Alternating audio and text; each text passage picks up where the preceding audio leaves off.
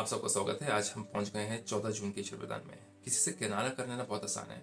Situation से भी किनारा करना बहुत आसान है। जगह से किनारा कर लेना, जगह छोड़ के चले जाना, रिलेशनशिप छोड़ के चले जाना, ये बहुत आसान है। लेकिन परमात्मा कहते हैं, ये अगर एक आदत पड़ गई तो हम हमेशा ही भागते रहेंगे।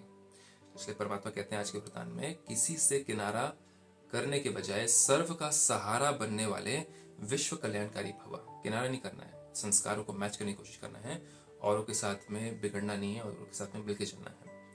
सारे कल्प में ब्रह्मा, बाप और ईश्वरीय परिवार।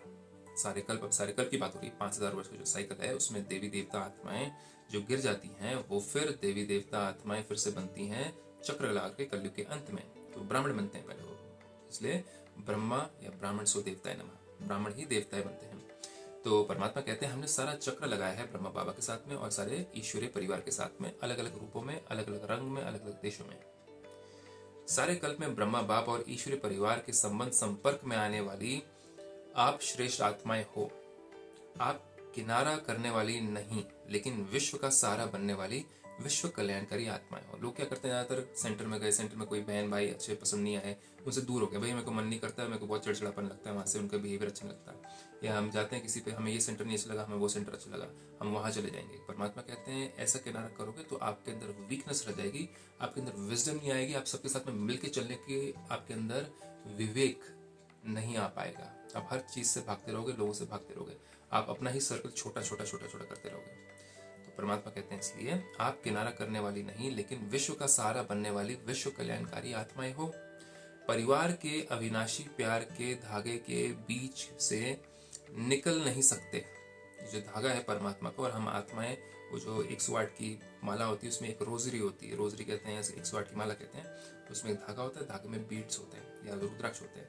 हम सब वो रुद्राक्ष रूपी आत्मा है, लेकिन हम दूर दूर होंगे तो फिर वो माला पूरी नहीं होती है। इसलिए मालाएँ में रुद्राक्ष सटे हुए होते हैं। तो हमारे भी संस्कार, हमें भी आपस में रिलेशनशिप सटा हुआ होना चाहिए। यानी कि दूर भागते रहो। लोगों की कुछ बुराई देखी, लोगों में कुछ गलतियाँ देखी, लोगों की कुछ आदतें पसंद नहीं आई और उनसे दूर भाग गया। तो परमात्मा कहते हैं, परिवार के अविनाशी प्यार के धागे के बीच से निकल नहीं सकते। इसलिए कभी किसी भी बात में, कभी किसी भी बात में, किसी स्थान से, किसी सेवा से किसी साथी से किनारा करने अपनी अवस्था अच्छी बनाने का संकल्प नहीं करना। मतलब ये पॉसिबल नहीं है। हम अकेले होकर के मेडिटेशन कर लेंगे, हम घर में बैठ के मेडिटेशन कर हम घर में बैठ के मुरली सुन लेंगे। हमें नहीं पसंद है वहाँ के भाई बहन, हमें पसंद नहीं वहाँ की दीदियाँ परमात्मा कहते हैं, यही माया का सबसे पहला प्रवेश द्वार है। और माया क्या करती है? अपने परिवार से दूर कर देती है। और जो परिवार से दूर हो जाता है, उसको वो वाइब्रेशन नहीं मिलती, फिर वो कलयुगी परिवार के साथ में मिक्सअप हो जाता है। कलयुगी परिवार की वाइब्रेशन में रहता है और उसको सत्युगी या पुरुषार्थ करने वाली आत्माओं के वाइब्रेशन मिलते नहीं है, जो कि सदा मेडिटेशन में होते हैं। तो परमात्मा कहते हैं, ये आदत डाली तो कहाँ भी टिक नहीं सकेंगे।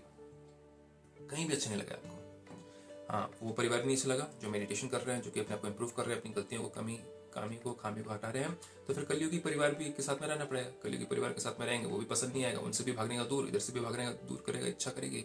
फिर रहोगे कहाँ? जैसे परमात्मा कहते हैं, परिवार के साथ में जुड़ने की कोशिश। तो आज के लिए श्री वरदान। इसके साथ ओम शांति।